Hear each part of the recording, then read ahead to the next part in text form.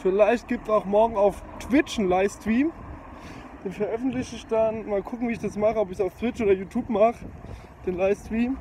Weil im Moment habe ich, ich bin da mal, vielleicht mache ich auf Twitch einen Livestream morgen. Also falls ihr meine Abonnenten seid und das Video jetzt hier seht, könnt ihr mir gerne auch auf Twitch vielleicht mal folgen. Da ist genau derselbe Name. Da ist genauso wie hier auf YouTube. Da könnt ihr mir auch folgen, wenn ihr wollt. Deswegen sagt mir Bescheid, Leute.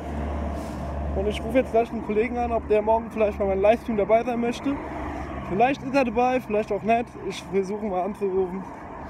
Also Leute, morgen 14 Uhr YouTube oder Twitch.